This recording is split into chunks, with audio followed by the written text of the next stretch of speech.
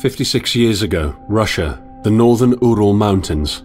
A group of nine students of the Ural Polytechnic Institute embarked upon a difficult winter expedition to reach the Otorten mountain. Their journey seemed to progress according to plan. However, on the seventh day of their trip, the weather conditions worsened. They lost their orientation and were forced to set up a camp on the slope of the mountain called Kholat Syakhl. It was their last stop. Three weeks later in Yekaterinburg, when their families received no word of their success, the first rescue expeditions were sent.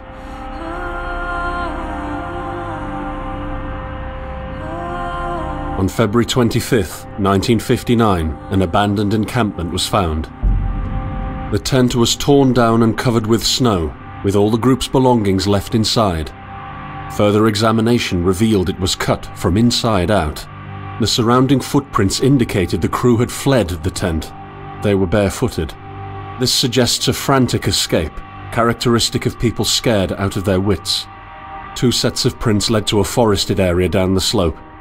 The rescue team found an improvised fireplace and two bodies. They were lying in but their underwear, with cuts and scratches to their limbs, suggesting they had tried to climb the tree in panic. What could terrify them so much? The next three bodies were found scattered a few hundred meters from the first discovery. One of them had suffered a fractured skull, this despite no evidence of a struggle. It took the spring thaw, two months later, to enable the rescue team to find the rest of the victims. The last four skiers were found buried in a thick layer of ice and snow. Their autopsies led to even more bizarre findings. All of the bodies had severe internal injuries caused by an undetermined force, similar to that of a serious car accident. No external damage nor bruises were visible, besides a tongue ripped from one victim's mouth and a strange orange skin color. Much speculation arose from these puzzling events. Such theories included attack from the local tribesmen, from an avalanche, or animals. Each theory, however, only served to create more questions. The truth behind this tragic course of events remains unexplained to this day. What really happened? Maybe the answer still waits to be discovered, deep under the snow.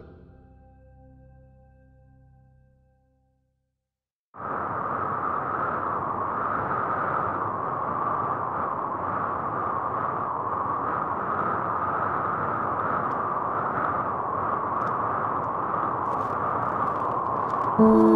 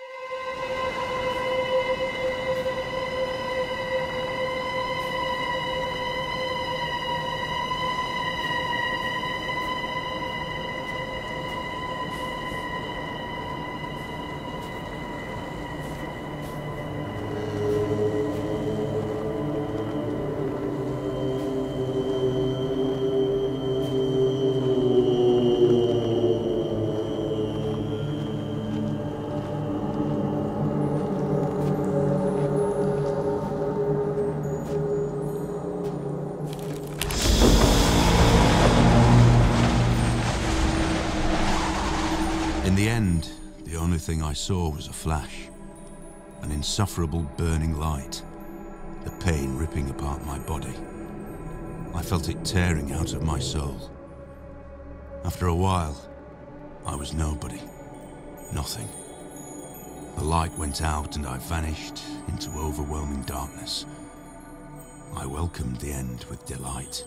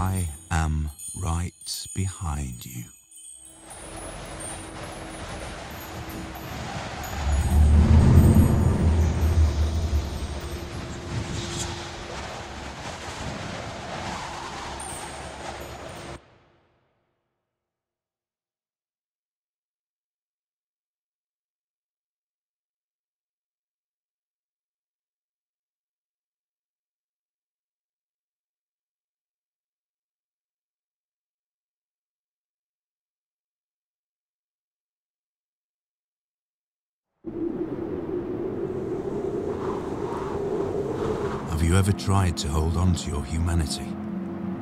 When others convince you of being no more than a subject, an object, which they can bend to their will. When they told you that you were a monster that deserved punishment. When you could really not remember your sins. When they took away your loved ones, leaving you to rot in the dark. The problem is it's in their darkness, you have never been alone.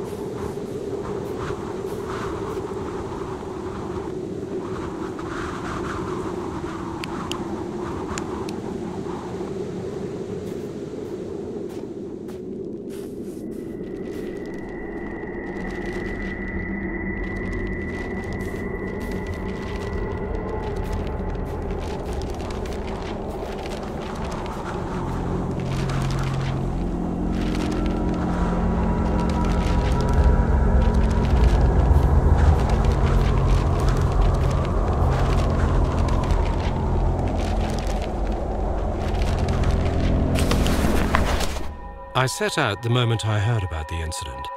I was in the area, so I reported to the unit myself to be automatically assigned to the case. I arrived at Vizhai on February the 19th, a couple of days before the Institute's rescue group. While waiting for them, I started asking around to see if anyone from among the locals knew anything about the incident. One of them said he had a hunting cabin in the search region and knew the area very well. I decided to use him as a guide. When the rescue team had finally arrived, I explained to them what the unit's role was in this mission and that all discoveries or observations should be brought to my attention before anyone else's. We established priorities, checked the equipment, and set off right away. It was not until February the 26th we found the tent that I believe belonged to the students. Initial findings show that the people in the tent cut its sidewall and for some reason tried to escape from it in panic. The tracks in the snow led to a forest a kilometre and a half away. But the trail went cold after 500 metres, and we had to carefully search the entire area. This was not a place of any average incident. We had shivers crawling all over our bodies because of the atmosphere surrounding us. I was convinced that something more than just an accident had occurred here. I had the feeling we were dealing with something unnatural.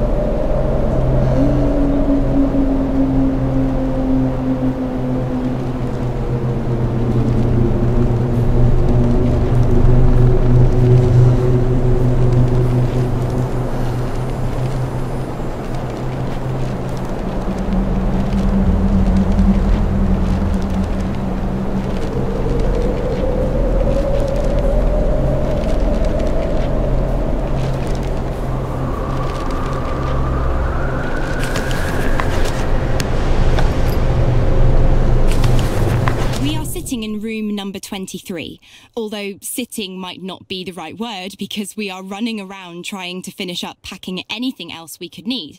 Uh, food cans, tools, essentially whatever we get our hands on. We want to be sure that we took everything we could possibly need. We're running out of time. Damn it, where did I put my belt? I'm sure we forgot about something. We're almost ready. We lost the knife.